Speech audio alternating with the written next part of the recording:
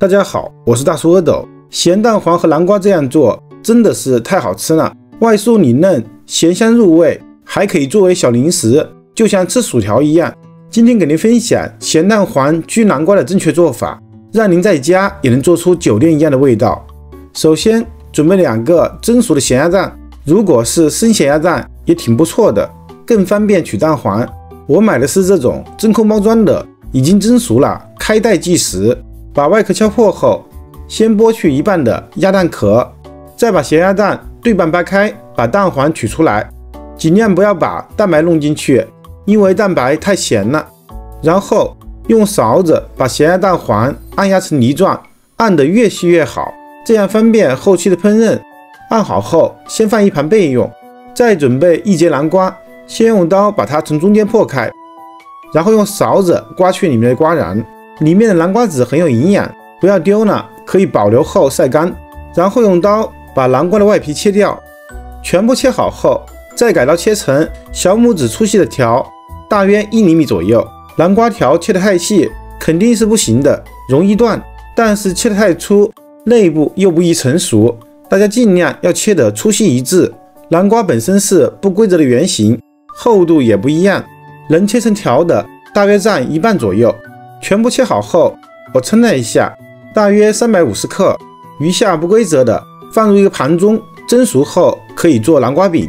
起锅烧水，加入一勺盐入个底味。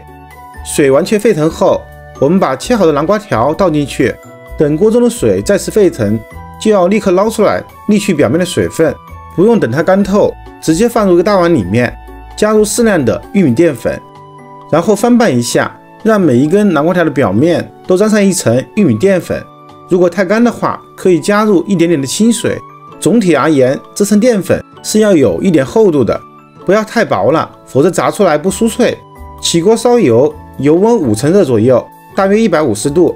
拿一根竹筷子插进油锅里面，发现筷子周围出现了很多小泡，但是拿筷子的手感觉不到烫手，就说明温度差不多了。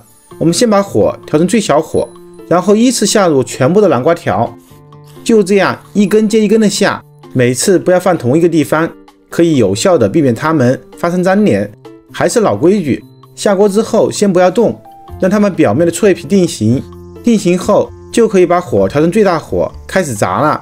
因为我们的南瓜条已经焯过水，本身也是漂亮的金黄色，同时量也不大，所以就不需要炸两次，直接一次性把它炸脆就可以了。炸到南瓜条全部漂浮在油面上，就可以倒出来沥油备用。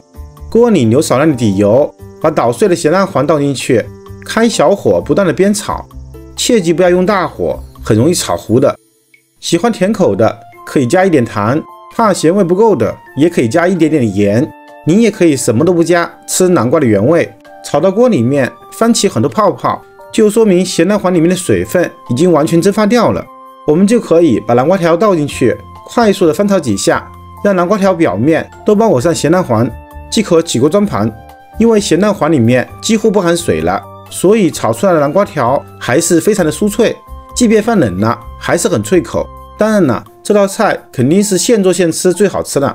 这样做出的咸蛋黄焗南瓜，外酥里嫩，软嫩多汁，咸蛋黄和南瓜搭配在一起，味道非常的棒，让人越吃越想吃，越吃越爱吃，根本停不下来。